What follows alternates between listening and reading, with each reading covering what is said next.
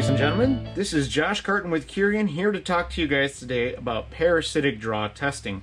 We are going to be using our N2 and our N2 app or the Curien Hub app to access parasitic draw testing.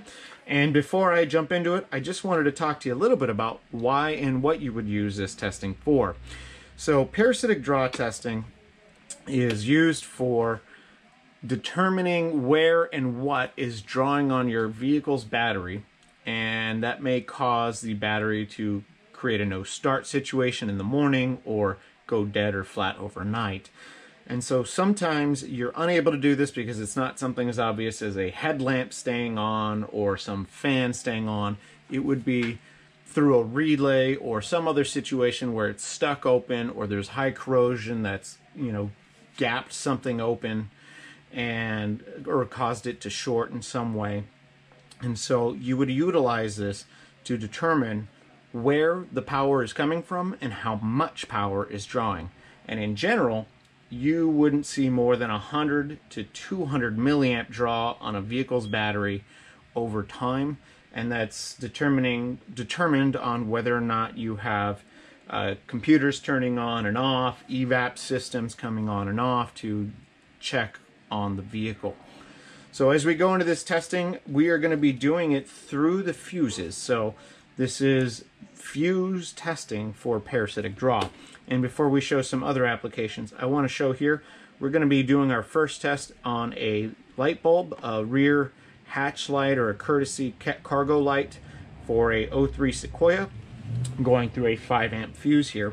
And so since it is a standard 5 amp fuse, we will go ahead and click on that, but I'll bring this up into the screen to show you you can actually do this testing for over mini fuses, maxi fuses, standard as we've mentioned, or ATO, and cartridge fuses. And you would just select the fuse type and the amperage rating for that fuse, and the N2 does all the heavy lifting for you. So back at it again, we've got our standard 5 amp fuse that we're going to go across. I've got my meter leads. I'm going to be connecting to common, and I will connect to volts, here I need to have volts DC or auxiliary volts DC. If we're going to do that, you would put your other uh, lead there. But we will go ahead and go across this fuse and go power to the closest power side, common on the other side of that. And as you can see, we are watching the draw of this bulb through the N2. And that is a 3 quarters amp draw. That is accurate. That is correct.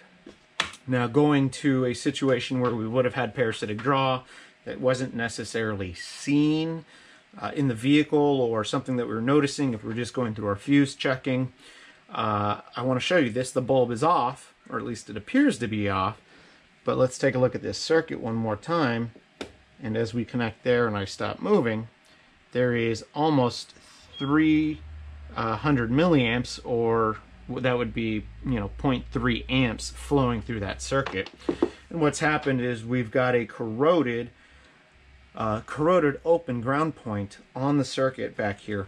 And you would normally see that uh, because of where this thing lives, it's by the weather seal that normally breaks on these older Sequoias, and it's the hatch, the vibration, you know, everything all together creates that perfect storm of, well, as you guys know, crap that will cause these types of issues. I just want to show you across a few other fuses. We're going to go ahead and shut that off. But across a few other fuses, I've got uh, this H4 bulb. If we were to hit the standard fuse and then, oops, that is not a 20 amp. That is on a 10 amp fuse. So standard, 10 amp.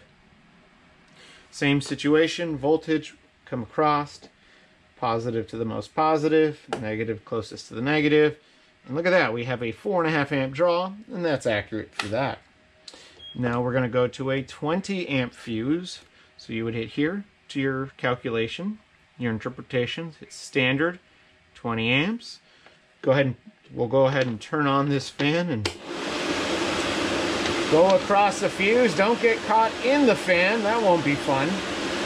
But as I am holding that there, take a look. We've got our 12 amp draw through the circuit powering this fan. And that is accurate. I'm to go ahead and shut that down. And there we go.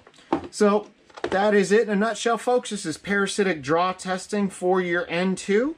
Feel free to call or email us anytime. Thank you so much and have a great day. Bye-bye.